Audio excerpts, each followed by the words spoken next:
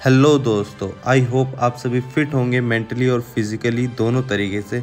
तो आज का वीडियो स्टार्ट करते हैं और उससे पहले एक छोटी सी line age is a just a number और ये आप देख सकते हैं सुरेश कुमार जी को देख के, जिन्होंने इंडिया के लिए सेकंड पोजीशन लेके आए हैं thirteenth world body building championship के अंदर। और आप देख सकते हैं, खूबसूरत तरीके से पोजिंग कर रहे हैं। और कोई भी नहीं बता सकता कि ये पचास से साठ उम्र के बीच में है और इनकी जो डिवीज़न थी वो थी man, master body building fifty to sixty years और ये साठ साल के करीब हैं और आप इनके मसल मास देख सकते हैं, इनकी ब्यूटीफुल देख सकते हैं। आप कितने अच्छे लग रहे हैं ये और कितने अच्छे तरीके से खुद को रिप्रेजेंट कर रहे हैं इस एज में आके जहाँ पर लोग खड़े भी नहीं हो पाते हैं, उनके सौ बीमारियाँ होती हैं, लेकिन आप इन्हें देख सकते हैं यही खूबसूरती है बॉडी बिल्डिंग की।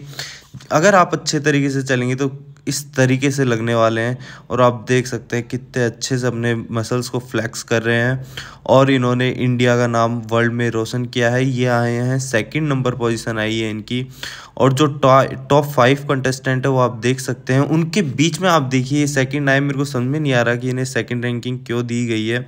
जबकि ये इस लाइनअप में सबसे ज़्यादा अच्छे लग रहे हैं, सबसे ज़्यादा अच्छे लग रहे हैं। देख सकते हैं आप इनका वाइट पोर्शन और सब कुछ बहुत ही अच्छे लग रहे हैं। इसके अंदर जो फ़र्स्ट है वो मलेशिया के कोई प्लेयर हैं, वो हैं और सेकंड इंडिया के और थर्ड जो है यूएन के हैं और फोर्थ ऑस्ट्रेलिया और फिफ्थ चाइना के। देख सकते हैं आप इन सब के बीच में कितने खूबसूरत तरीके से इंडिया को रिप्रेजेंट कर रहे हैं ये। मज़ेदार, बहुत ही शानदार तरीके से। और बहुत ही खूबसूरत तरीके से, और इंडिया के लिए एक प्राउड मोमेंट है। एक पचास से साठ साल की उम्र में इंडिया को रिप्रेजेंट करना, स्टेज पे खड़ा होना और उसके अंदर सिल्वर मेडल लेना, ये एक अपने आप में एक अनोखी बात है।